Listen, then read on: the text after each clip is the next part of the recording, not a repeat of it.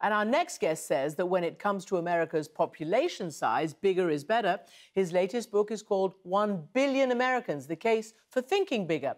Matthew Yglesias is an American journalist and co founder of Vox News. Here he is speaking to our Walter Isaacson about this thesis. Thank you, Christiane and Matthew. Welcome to the show. Really glad to be here. You were one of the co founders with uh, Ezra Klein of Vox, that wonderful explainer news site. And recently you just left. Why did you leave? Well, you know, I, I was a co founder there, but I hadn't actually been in management for several years. And, you know, I was trying to just sort of be a writer. Uh, but it's hard when you're so closely affiliated with a place to also be an independent voice on your own. And I think we've seen some trends in digital media in particular that don't really rub me the right way. I, I, think less interest in provocation and challenging people than you used to have or than I'm interested in doing. So it seemed like a good time to explore some new opportunities and do something more independent. Well, certainly digital media has a lot of provocation.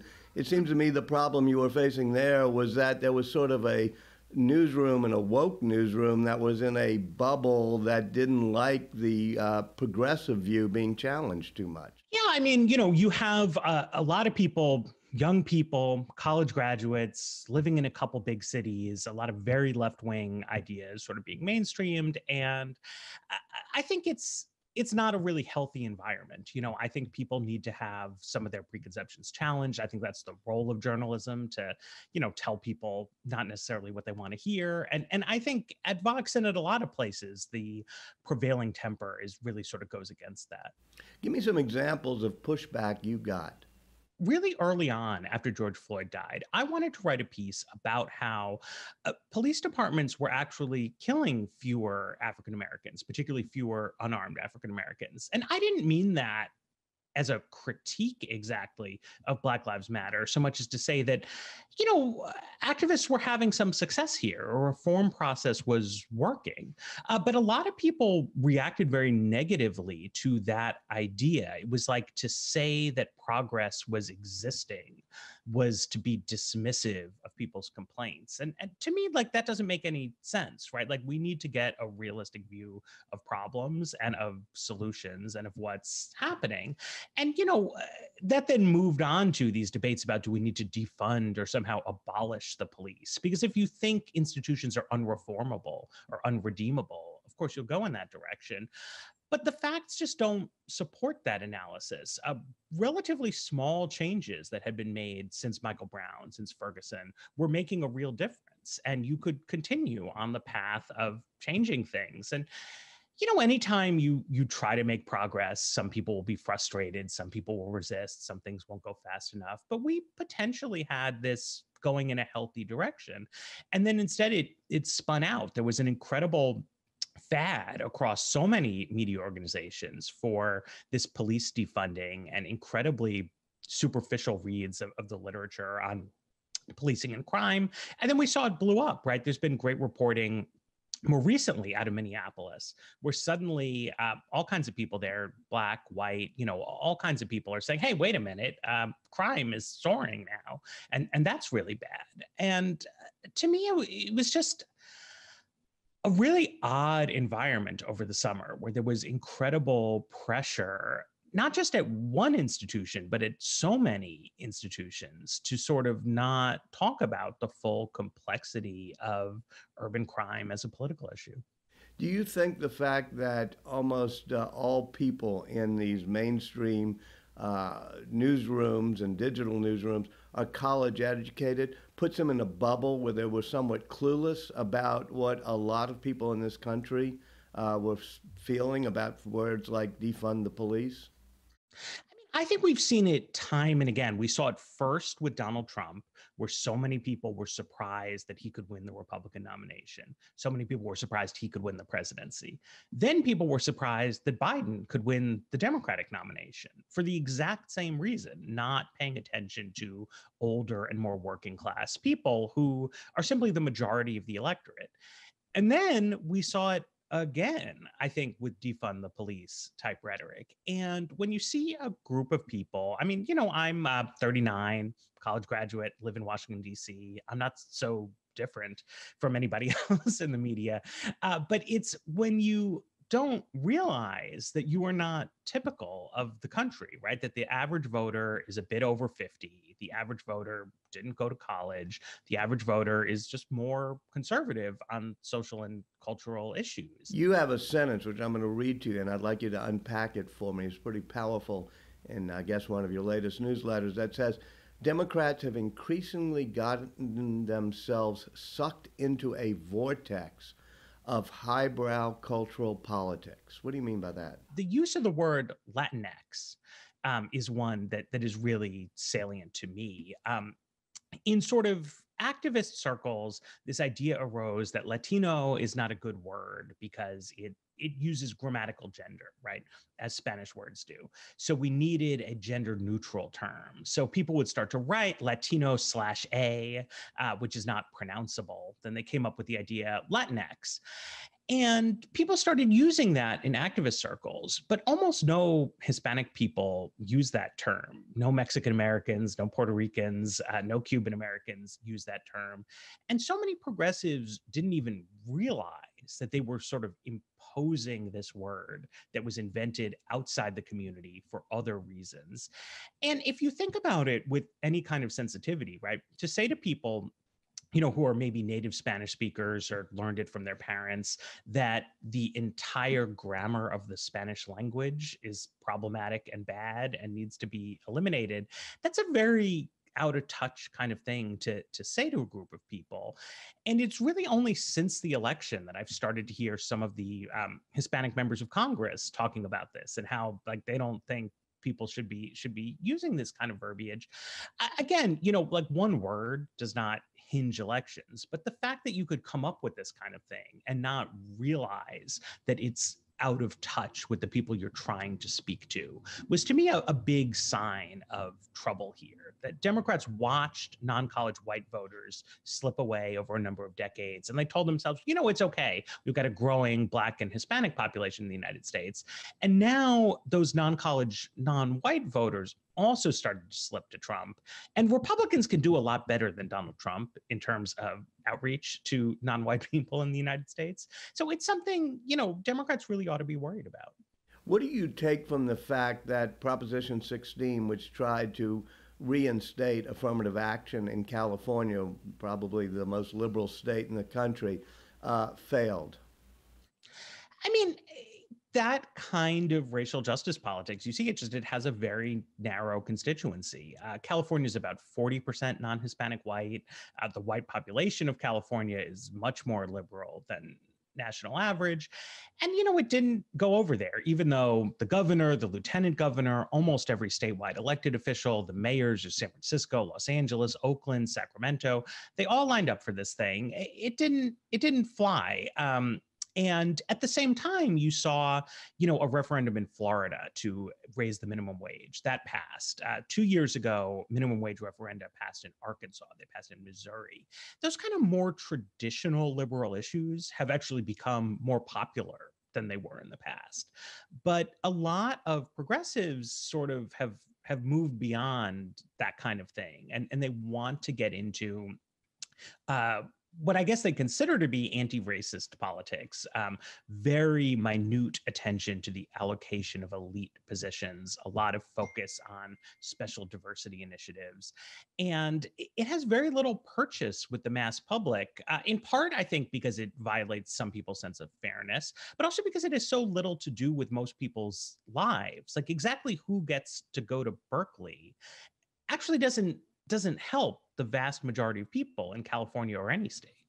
But Matt, isn't it a deep moral issue that we have to be more inclusive, have to have more diversity, and have to um, make sure that people who've been discriminated against over the past generations get to be brought part of our society, including uh, in good jobs as well as in good colleges and universities? I mean, I think we absolutely have to be more inclusive. You know, Trump right put forward for most of his term this very exclusionary idea of america this obsession with the idea that um, immigrants were weakening our country and, and i think that's really wrong. I mean america is always sort of at its strongest when it is a haven for all kinds of people when it is a diverse society when people from all different backgrounds are contributing um, at the same time, you know, the United States really is that diverse society. We had Barack Obama as president. We're going to have Kamala Harris as vice president. When you look at, you know, European countries, you look at Asian democracies, you don't see the levels of diversity and inclusion that exist in the United States.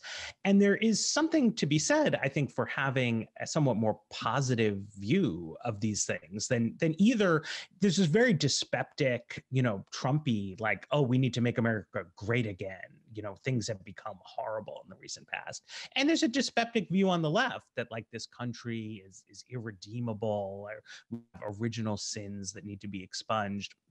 But in fact, you know, we have problems like all countries do. Nothing is perfect. Uh, but America is is pretty good, you know, in a lot of ways, right? The essence of the whole immigration debate is that people would like to come here people from lots of different countries who are aware that the United States is imperfect are also aware that it provides extraordinary opportunities to a lot of people. And we should fight to make sure that that continues to be the case. You've written a book called 1 Billion Americans that has just come out. And I think that what more than would triple the size of the population. Why would we do that? Well, so you know, my big idea in this book, right, was to think seriously about international competition with China. It's a big topic. It's something uh, Trump spoke about. It's something Biden's transition team is thinking about. It's something Americans care about. Fundamentally, why is China a major power on the world stage with an economy that's about as prosperous as Mexico, Bulgaria. Uh, it's because the country's so big there's one uh, 1.2 billion people in China. Uh, the United States historically has been a major power in a way that, say, Canada is not. Um, Canada's a nice place. You know, I've been there. I know Canadian people. Uh, but the reason America is a great power in the world is that American leaders in the 19th and 20th centuries acted to sort of build up the United States, right? Um, a lot of that was immigration. Some of it is just you know domestic fertility. People have have children. Uh, to be a really big country, American leaders wanted us to be a big deal in the world and I think Americans still have that aspiration. And I want to challenge us to take seriously what that means to support families with young children so that people can, can have as many kids as they say they want to have, to continue to be welcoming to immigrants, and then to look at the problems, you know, traffic jams and other things that would arise if we had more population growth and solve them. What about the environmental impact? Uh, so, you know, uh, in a lot of ways, I think America has the natural resources we need uh, to have more people. We have incredible holdings of federal lands where the big trade off is it's really with mining and logging and ranching interests, not with human habitation. We have a lot of fresh water. Uh, we have cleaner air and, and cleaner water than we've had in the past before there's an important question about climate change, right? So if people come here from poor countries and they achieve American living standards, their greenhouse gas emissions go up, um, and that that is an issue. That is a downside. At the same time, I don't think if you speak to any thoughtful environmentalist and you say, "Well, what's your solution to this problem?" Uh, they're not going to say, "Well, we're going to keep half the planet trapped in poverty forever and ever." That's not a real solution to climate change, right? Real solutions have to come from deploying renewable energy and from developing new storage technologies and new um, ways to do you know shipping air travel these other kinds of things. So if we can do that stuff to have a prosperous green society then we can have a larger population. If we don't do that stuff i think that trying to shrink the country or abandon economic growth or tell other countries that they're going to stay poor uh, that to me doesn't doesn't work. That's not a moral solution. It's not a politically practical solution. It's not in line with how any environmental challenge has ever been met. Other than trying to compete with China or maybe India, is there a moral reason why our country should be 1 billion Americans, as you say in your book? I mean, I think there's incredibly powerful moral reasons to be more open to immigration. I think one of the greatest things that the United States uh, does for the world and has done historically is provide an opportunity for people to move here. I also think it's not just moral, though, it's self interested, right? We look at the uh, Moderna vaccine, and one of the founders of that company is uh, ethnically Armenian, born in Lebanon, immigrated to Canada, then from Canada to the United States. Other born in France, came here here. Uh, the um, BioNTech uh, vaccine that's made by uh, people of Turkish ancestry whose parents moved to Germany. Uh, letting people from poorer and less free countries have the opportunity to move to richer and freer ones, it helps them, but it helps the whole world, right? When people are able to reach their fullest potential to innovate, to make great things, those benefits scale tremendously. And, it so far outweighs any kind of small problems of labor market competition. But what about the increase of the challenges and problems we'll face with everything from education to healthcare to even economic disparity if you mm-hmm. open the gates to a lot more immigration? Well, you know, when you do immigration in a smart way, you can help ameliorate those kinds of problems. Uh, so, right now, it's incredibly difficult for a foreign trained doctor to qualify to practice medicine in the United States. Uh, but our medical professionals, uh, they earn much more money than, than foreign doctors. And, you know, they're great. We've got great doctors and nurses in the United States, uh, but there's a lot of great doctors and nurses around the world. If you can create a pathway for foreign trained physicians to practice here, that helps make our healthcare problems easier. It, it, helps solve our inequality problems. One of the ideas I have in the book that I, I borrowed from the US Conference of Mayors is that we should let cities that have experienced population decline, a, a lot of them in the Midwest, some in the Northeast, a few in the South, we should let them sponsor extra visas uh, for people who would like to move here. So a place like an Akron or a Toledo or a Binghamton uh, can get a new nucleus of skilled workers coming in and new economic opportunities. So uh, a measure like that could help lessen some of the disparities, uh, regional disparities that have kind of pulled apart to an extent the, the fabric of this country. So I think it's not it's not wrong of people to look at social problems and worry about immigration perhaps exacerbating them. But the world is such a big place, and uh, the desire to come here is so large that there are ways we can design our programs to actually make those problems better. Matthew Yglesias, thanks so much for joining the show. Thank you.